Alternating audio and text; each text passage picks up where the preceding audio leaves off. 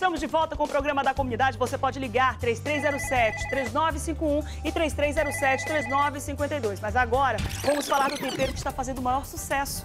Claro que estamos falando de Sazon.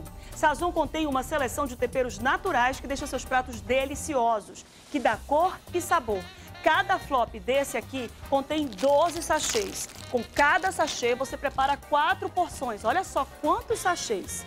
São 12. Cada um desses aqui, você prepara quatro porções com um custo-benefício de apenas 25 centavos. É isso mesmo. Com apenas 25 centavos, você prepara quatro porções. E além de tudo, é muito prático. Você, dona de casa, não precisa mais ficar cortando cebola, tomate, etc. não. Mas se você mandar aquelas que não abrem mão dos temperos tradicionais, não tem problema. Você pode usar Sazon com outros temperos. Coloque mais amor na sua comida, use Sazon. Sazon tem 11 sabores e você pode variar e pode repetir. Olha só esse Sazon aqui, olha. Sazon de carnes, vermelho para carne, não esqueça, hein?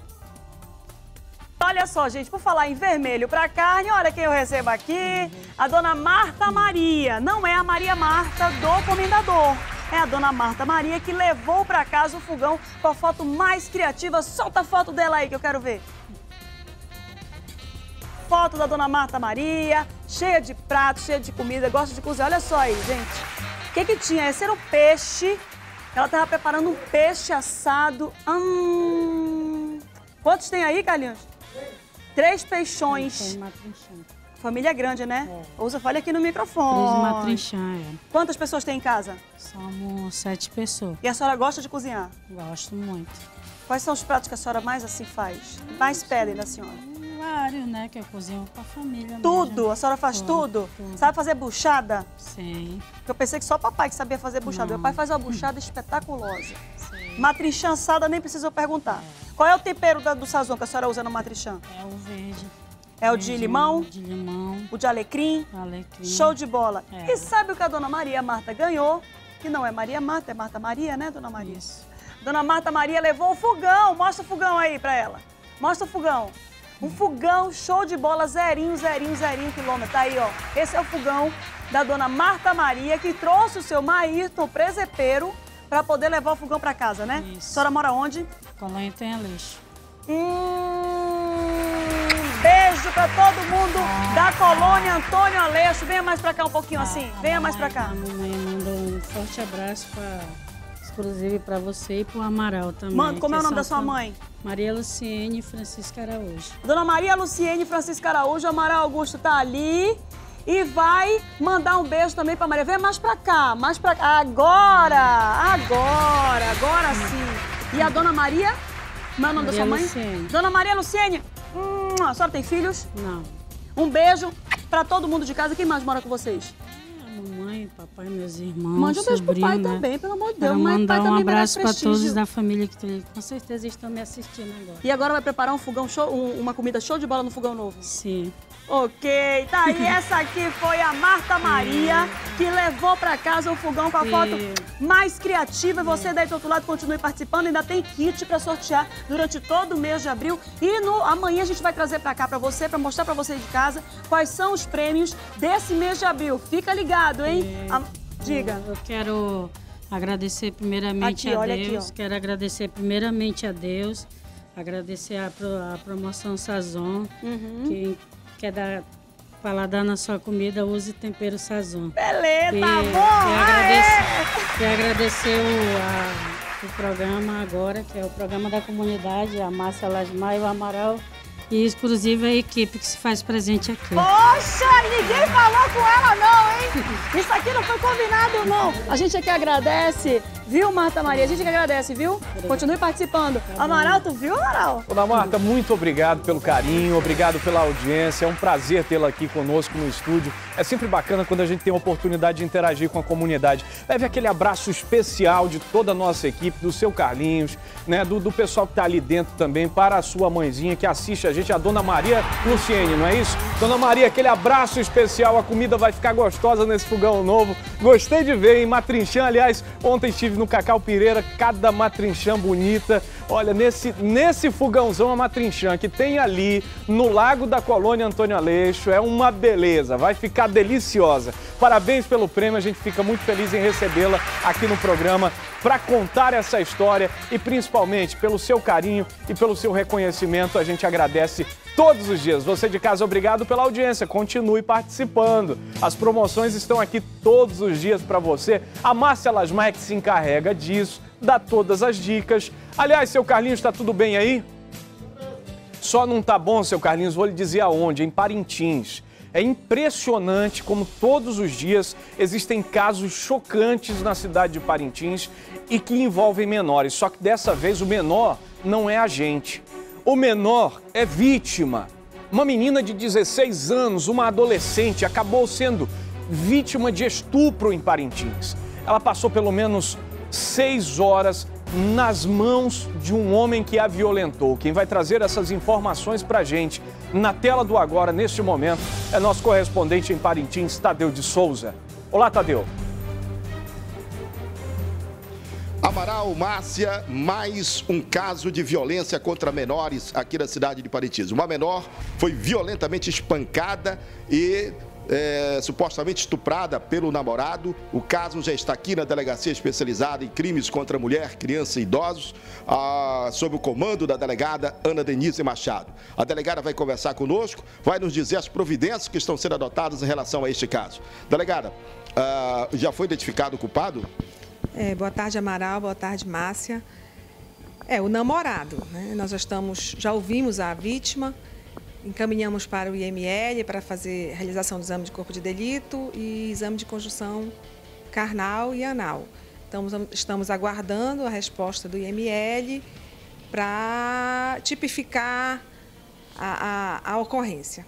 Muito obrigado. Aqui a delegada Ana Denise Machado. O Amaral, você está vendo aí na foto. A gente não pode identificar, é claro, a foto está encobrindo apenas uma parte do rosto da garota, como ficou depois da, do espancamento, da sessão de espancamento praticada por esse indivíduo que a polícia está notificando, está atrás para trazê-lo para cá, para a delegacia especializada. Nós vamos ouvir agora a mãe da menor, Amaral. É, na, na madrugada de sábado para domingo, porque ele, ele sempre já saía com ela, já estava dois meses que ele saía com ela, mas sempre eu marcava um horário e trazia sempre ela no horário. Quando foi nesse dia, ele saiu com ela e não trouxe no horário que era para trazer. Disse que trazia mais tarde. Mais tarde, eu, da meia-noite, passou da meia-noite, eu ficava ligando para ele, ele dizendo, dizendo que daqui a uma hora de trazer ela. Daqui a pouco eu passava a mensagem para o celular da minha filha, ela respondia que não, ele não queria deixar ela vir.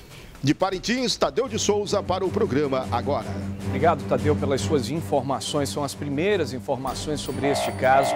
Um caso lamentável que apresenta para a gente a violência.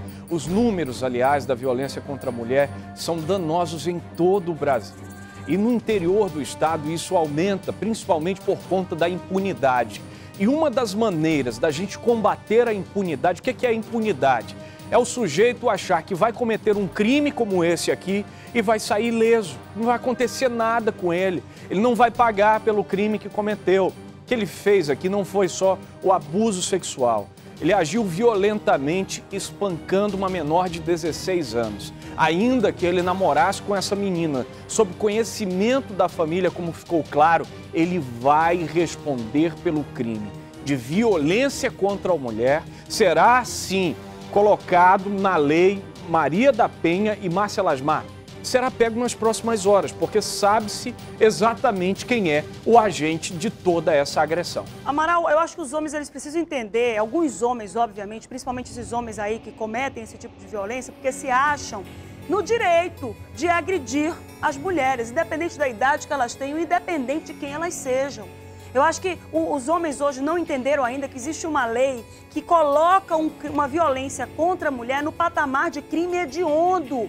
O crime hediondo, só para explicar para vocês, ele tem uma série de requisitos rigorosos que não deixam com que o cabra que cometeu determinado crime, este crime, saia, por exemplo, com um terço da pena, como é o caso de outros crimes de menor potencial ofensivo, como é, a gente traz aí para você. O cara que comete o crime hediondo, ele sai com um cumprimento de dois terços da pena. Então, a pena que ele é, que é atribuída de acordo com a ação que ele cometeu, é, é uma pena que vai fazer com que ele fique muito mais tempo preso, muito mais tempo fora fora da sociedade, porque esse é o objetivo da, da prisão, esse é o objetivo da cadeia, é tirar aquele cabra que está trazendo dificuldade, que está trazendo sofrimento à sociedade, está desestabilizando a sociedade, para colocá-lo isolado e refletindo. Então, vejam vocês a violência e a agressividade com que esse rapaz, com que esse homem agiu com essa menor. Ela foi violentada, agredida, estuprada e tudo isso por quê?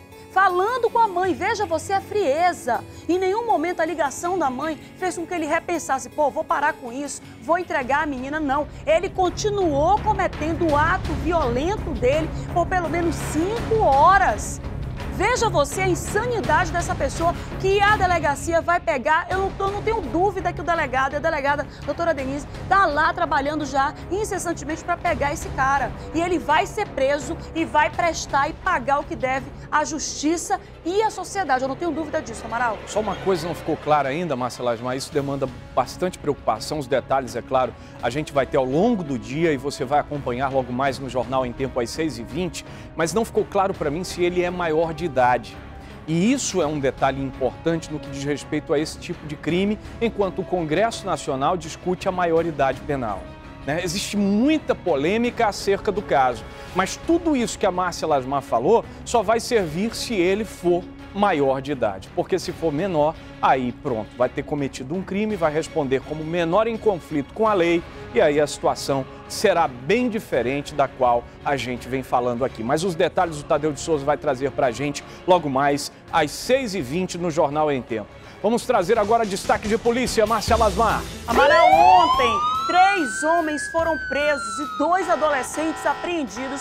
Veja você a crueldade desse caso que a gente vai trazer para você agora.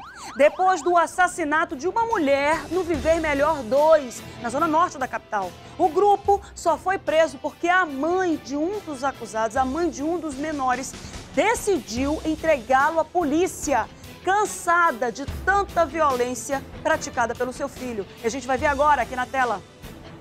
A líder comunitária Berenice Silva do Carmo, de 34 anos, foi morta com dois tiros por volta de uma da tarde desta terça-feira.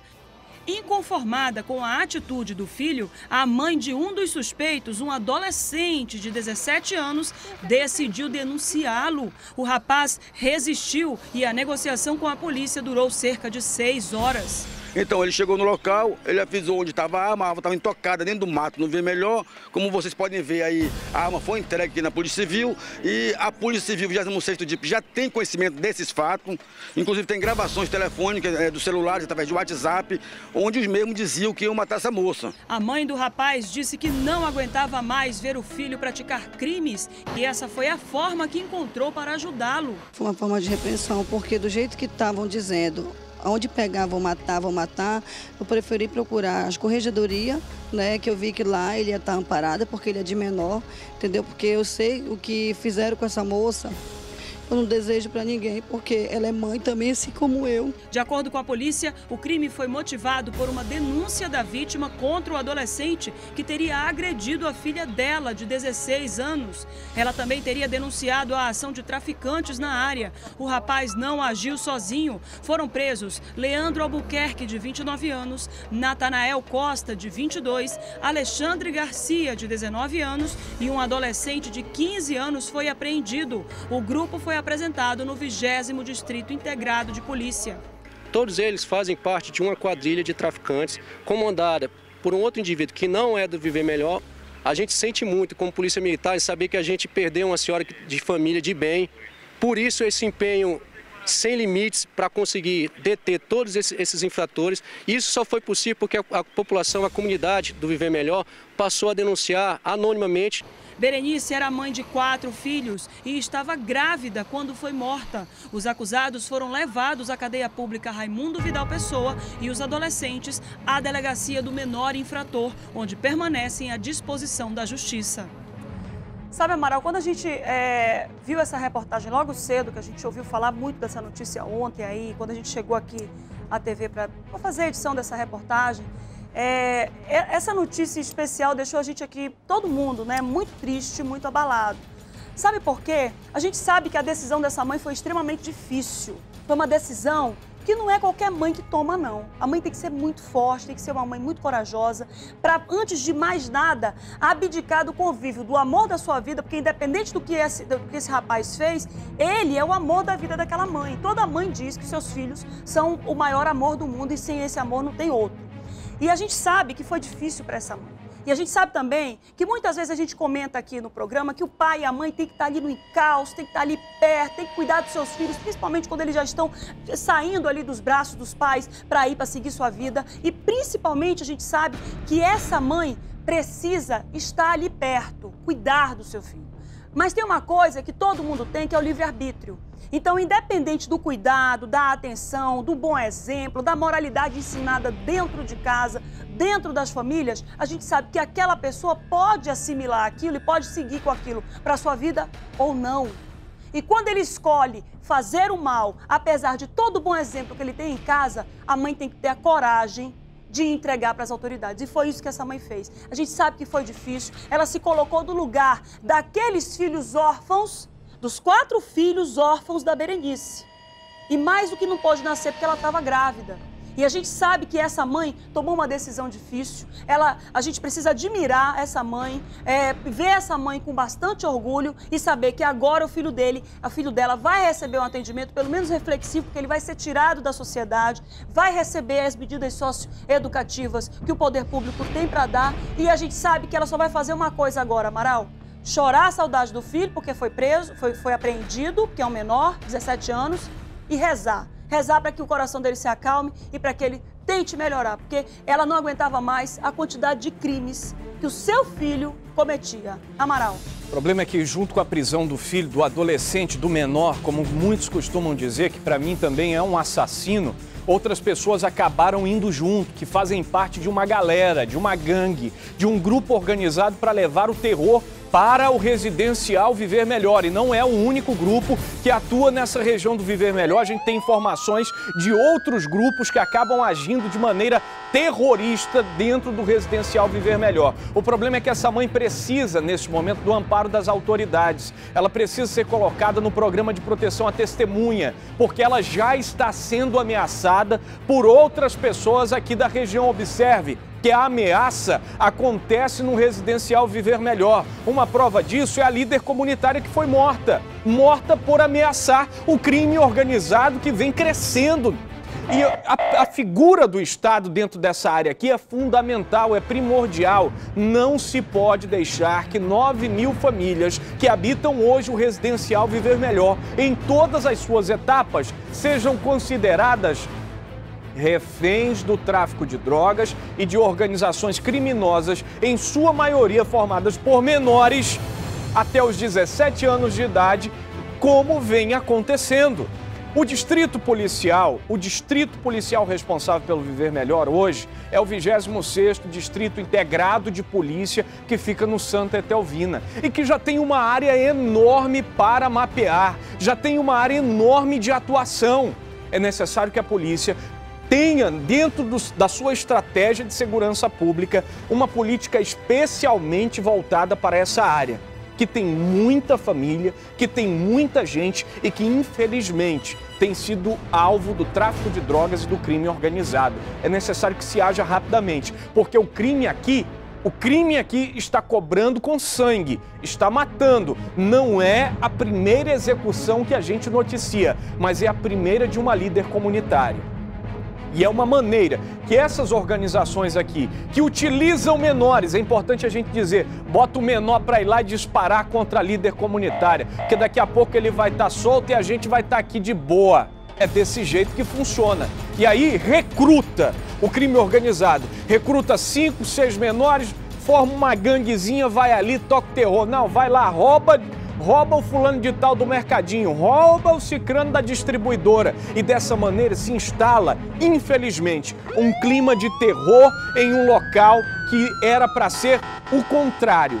Era para ser o contrário do que a gente observa hoje. Eu espero que dentro do programa Todos pela Vida se instale permanentemente um grupo dentro do Viver Melhor para combater de todas as formas, em todas as vertentes, o crime que infelizmente tem se espalhado nessa área da cidade. E não é só Não é só no Viver Melhor que isso acontece. Tem telespectador na linha do programa agora? Alô, alô, bom dia. Já é boa tarde, né? São 12 e 4 nesse momento. Alô, boa tarde. Melhora a comunicação com o telespectador que está à linha do programa da comunidade. Alô, boa tarde. Boa tarde. Com quem eu falo? Caiu a ligação, diretor. Caiu a ligação, infelizmente. O telespectador está tentando participar. Telefonia não está fácil, mas está aqui. Nós estamos falando sobre uma situação lamentável que vem se repetindo no Viver Melhor e que dessa vez culmina com a morte de uma mãe de família, culmina com a morte de uma pessoa, com uma cidadã que mora no, morava no residencial Viver Melhor, que deixa quatro filhos órfãos. Infelizmente, é a retaliação do crime organizado contra uma pessoa que decidiu de uma maneira íntegra denunciar a criminalidade nessa área da zona norte da capital amazonense. Volto a dizer, tem uma mãe agora de um desses bandidos que está sendo ameaçada por outros bandidos. Tem uma mãe que está aqui também ameaçada e que tem muita informação que a polícia pode usar para levar para a cadeia outras pessoas que agem na área do viver melhor. Ela precisa ser amparada e posta no programa de proteção à testemunha. Tem telespectador na linha do programa agora 125. Olá, boa tarde. Oi, Amaral. Com quem eu falo? Boa tarde, Amaral. É o Sérgio do Centro. Muito bem, Sérgio. Qual a sua opinião sobre este caso? Rapaz, é, é, isso aí eu acho que a, é, a população não tem culpa não, porque o pessoal ajuda, a população não faz quase nada, né? Muito bem, obrigado pela sua participação e pela sua opinião ao vivo aqui no programa da comunidade. Realmente é um caso que revolta a cidade, revolta a todos e principalmente comove. Né? Comove, e, mas na prática o que a gente quer com isso é que o exemplo uh, dessa, dessa líder comunitária da Dona Maria Berenice uh, se transforme em medidas medidas rápidas e eficazes contra o crime que infelizmente tem se instalado no Viver Melhor. Vamos em frente com o programa agora, Márcia Lasmar 126. Amaral, não foram só esses dois adolescentes que foram apreendidos, não. A gente vai trazer mais uma informação sobre cinco outros adolescentes que foram identificados como suspeitos do furto na última quinta-feira, a Unidade Básica de Saúde no Armando Mendes. A gente vai trazer agora essa reportagem aqui na tela. A polícia conseguiu recuperar os televisores e parte dos materiais de odontologia furtados. Os equipamentos foram avaliados em 20 mil reais. Cinco adolescentes entre 13 e 16 anos são suspeitos de cometer o furto. Disseram que fizeram o seguinte, que estavam brincando é, que é estranho, né? Duas horas da madrugada, estavam brincando, uma bola caiu, eles entraram lá, os colegas, os cinco colegas, viram a oportunidade, como as portas são frágeis, são de alumínio, eles arrombaram a primeira e de arrombar a primeira começaram a separar os materiais para furtar. Os adolescentes arrombaram esta porta, que fica na parte de trás da UBS, para conseguir entrar no local. Para não serem identificados no caminho, eles desligaram os alarmes e quebraram as câmeras de segurança. A polícia identificou os adolescentes depois de denúncias de populares. A unidade de saúde reabriu nesta segunda-feira, mas a maioria dos serviços continua prejudicada. Gente, para não deixar a comunidade desamparada, a gente está funcionando com trabalho educativo. Mas a parte realmente técnica, como foram furtados os materiais, principalmente a parte de instrumento odontológico, essas coisas, a caneta, que é muito útil, né? Então, que realmente não está sendo atendimento técnico, assim, de fato. O caso vai ser encaminhado à delegacia especializada em apurações de atos infracionais. Pois é, por esses e outros motivos aí que eu acho que simplesmente diminuir a maioridade penal não é a solução. É preciso todo um trabalho na prevenção, na atuação do poder público para poder fazer com que esses adolescentes saiam efetivamente da criminalidade e voltem ao banco da escola. É lá que eles têm que estar, é lá que é o lugar deles. Então, só diminuir a maioridade penal, que já vai ser um grande ganho para a nossa legislação, eu entendo que já vai ser um grande ganho para a nossa legislação, apesar de, na minha opinião pessoal, saber que eu acho que não devia ter a maioridade nem menoridade penal nem nada disso. Acho que cada um tinha que ser avaliado de acordo com a sua atuação, mesmo que tivesse 12 anos, 11 anos, 13 anos, mas se for ali, aquele ser humano entende o que está fazendo e sabe que está fazendo mal, ele tem que ser avaliado como adulto. É assim que eu entendo. Mas, enfim, nossa legislação é assim, nossa legislação precisa atuar, precisa andar e precisa ir melhorando devagar. Eu acho que a diminuição da maioridade penal já é um grande passo, mas nesse caso aqui, só fazer apreensão e colocar para fazer uma medida socioeducativa não é suficiente. Amaral. Me chamou bastante a atenção que disse o delegado quando disse assim, quando relatou a nossa equipe de reportagem, achei muito estranho eles dizerem que estavam simplesmente jogando bola e que a bola caiu e que eles decidiram ali de uma hora para outra entrar na unidade. Não foi isso. Tem gente maior envolvida, tem gente maior que tinha outros interesses e que acabou aliciando esses menores, que acabou aliciando esses adolescentes para executar a missão de roubar todos esses Adolescente não sabe quanto custa um equipamento desse. Adolescente não sabe que ali tinha todos esses equipamentos odontológicos e o valor que isso pode ter no mercado. Eles não têm esse conhecimento. Tem gente maior envolvida e a polícia continua fazendo as investigações. Os menores cumprem medidas socioeducativas, mas tem gente maior que já está na mira da polícia. São 12 e 10, daqui a pouco, depois do intervalo, você vai saber quem é o homem que foi pego roubando no Jorge Teixeira. O resultado é que a população acabou encontrando ele pelo caminho. E por pouco ele não é linchado. Tá aí, olha. São imagens que foram enviadas pra gente. Ele acabou sofrendo muita violência por parte dos moradores. Um líder comunitário lá acabou apartando, segurando ali a situação, chamando a polícia. E esse foi o resultado de uma pessoa que tentou roubar lá na Avenida Itaúba, no Jorge Teixeira, e que daqui a pouco a gente traz em detalhes na tela do programa da comunidade. 12 e 11, a gente volta já. Estamos gravando ao vivo